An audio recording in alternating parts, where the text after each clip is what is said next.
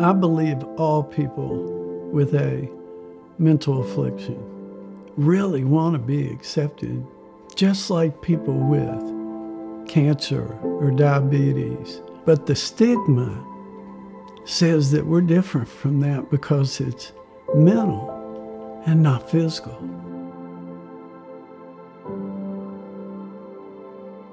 Somebody I work with just last week, well, if you just pray to go away, your depression to go away. I said, no, it will not. It is a true physical condition.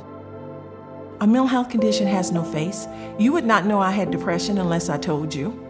You would not know some of my other friends have bipolar, schizophrenia, unless they told you. It's unbelievable.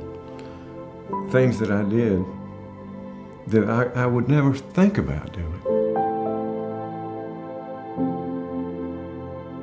I've been bullied a lot of my life by fear and anxiety, and I've allowed the bullying to continue for way, way too long. Bipolar disorder is hard to explain. It's, it's different for everybody. It looks different for everybody. And I think that leads to some confusion sometimes in the community. We need to find a way as a society, but even as, as an individual, you need to find a way to switch and shift your thinking to it's okay. It's okay to need help. And it's a good thing to get it. The conversations about race and, and mental health have to be had to be able to break down the walls of this mistrust that persists in the communities. And someone's got to do it. So why not that someone be us?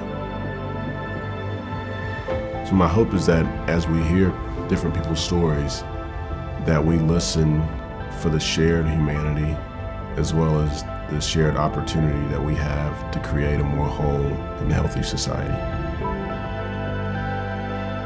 Our darkness, whatever that darkness is, through testimony can be someone else's ray of hope.